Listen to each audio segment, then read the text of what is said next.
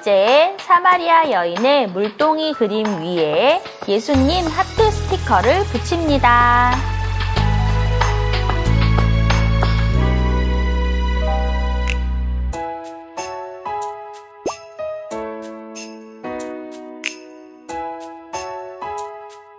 두 번째, 접는 선을 따라 두 손 모아 예배하는 모습을 만듭니다.